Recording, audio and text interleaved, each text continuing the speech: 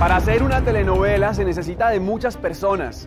Cada una cumple una función muy específica y uno de los roles más importantes es el del director de escena, que se encarga de decirle a los actores cómo hacer su trabajo para que se plasme en pantalla lo que está escrito en el libreto de la mejor manera posible. La mayoría de los artistas siguen al pie de la letra las indicaciones del director, pero hay algunos actores que cuando no están de acuerdo con la forma en que se desarrolla una secuencia, asumen el papel de director y hacen algunos cambios en la escena.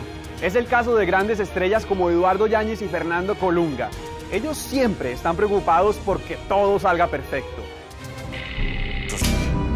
Uno que lo hace con bastante frecuencia es Fernando Colunga. Toño Mauri trabajó con él en la telenovela Abrázame muy fuerte, grabada en el 2000. Fernando es una gente que cuida todos los detalles de su persona, de su pelo, de su voz, de su, o sea, es una gente que realmente sabe lo que va a hacer. Bueno, es más, John Abrázame muy fuerte, él dirigió tres o cuatro escenas como director. Eso es una faceta que a lo mejor mucha gente no conoce de Fernando. Ana Berta Spin compartió escena con Colunga en el 2010 en la novela Soy tu dueña. Colunga se sabe los papeles de todos, es impresionante. Y sabe qué sigue de la novela, qué no sigue, que... O sea, son, son seres que tienen muchas antenas puestas y este, admirable, ¿eh? Eric del Castillo participó en la misma telenovela con Fernando. Yo no lo vi exigente para nada. De repente veía que platicaba con el director y a veces se hacía este, la observación que él decía, que yo alcanzaba a oír, ¿no?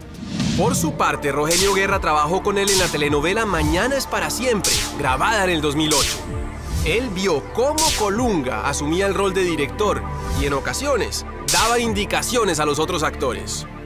Ahora tampoco es así de que les trate mal, ni mucho menos. es todo lo contrario, también es juguetón. La gente habla mucho de Colunga, los que no lo conocen, los chismosos. Pero el hecho de trabajar con este muchacho, maravilloso porque es de un profesional como él solo.